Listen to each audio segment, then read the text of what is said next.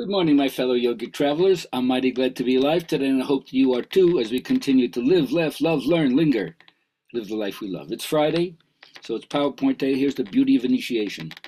Well, we have to face the shark, the, the dark, the shadow, the stuff that's dimly seen within us. Sometimes it appears in your dream as a dark figure of the same gender, indicating an upswell of information coming from your subconscious to the surface. And uh, it's different than our daylight personality so sometimes uh, it can be uh, scary. Its rationale is not the same as every day. It's not irrational, but it's irrational because we don't understand its logic.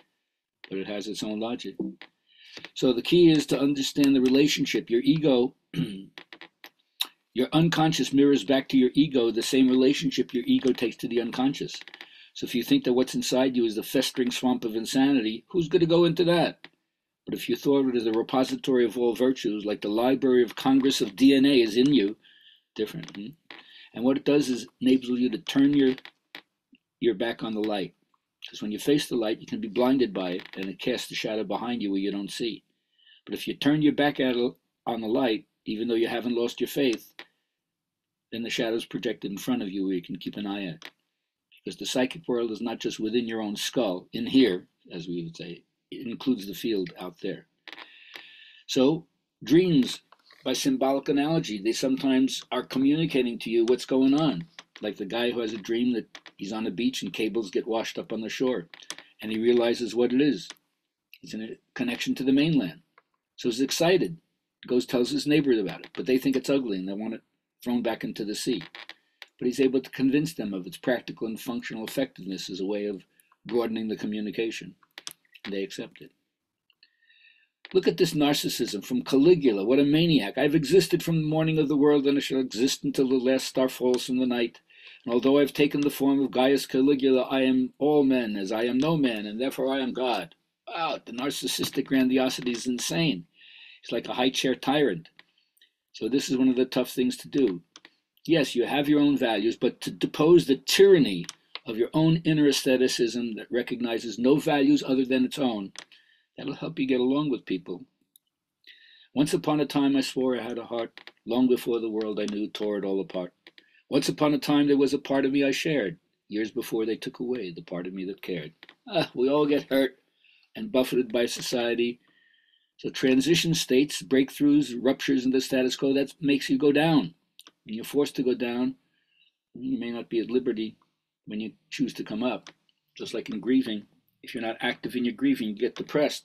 But if you grieve, you have a little bit more choice about when you come up for air. Now, ritual initiation usually changes outer aspects of you to symbolize stuff. Like when you go in the army, they shave your head. You've got to be a monk, they shave your head in the same way. They're trying to show you you're not the same, and now you're about to go into the unknown. If you know where you're going, you're commuting. You learn that your parents are not your mentors. They're the high priest and priestess of another order. They can't worship in your temple. But when you find your mentor, you're in competition with your mentor. Not like a tennis game where you have somebody on the other side to make a uh, an adversary, but you're petitioning the same deity, sharing the same fantasy, right? praying in the same direction. They recognize equal fervor in you. And because they are a field of visibility for how it looks like when you're done, you get the eye of blessing from them. Now, we all have this rift that seems that we're separated from we, what we love, and there's this longing for union. But longing, by its very name, definition, nature, is a state of unfulfillment and sadness. So, as long as you're longing for union, you're going to be sad. What's going to cover the gap? How are you going to go over the breach?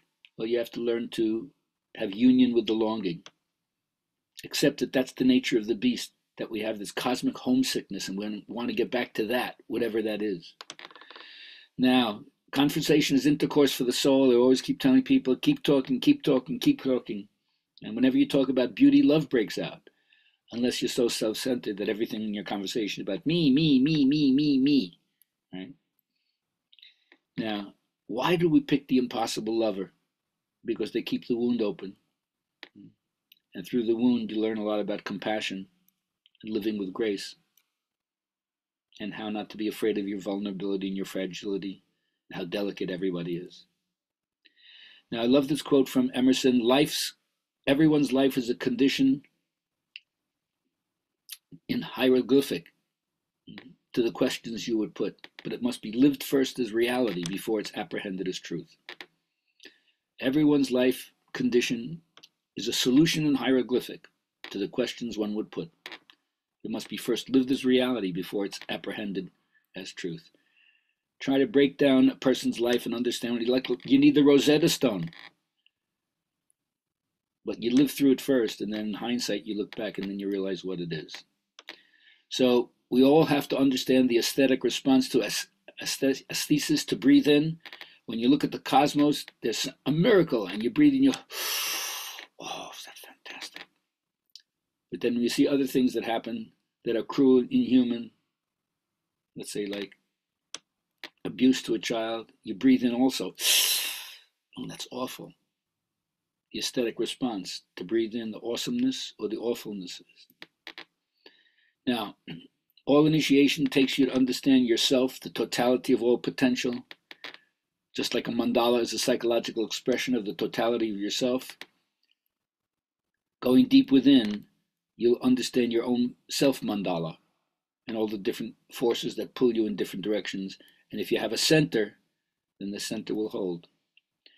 Find your king or your queen, the part of you that creates just order just because you exist.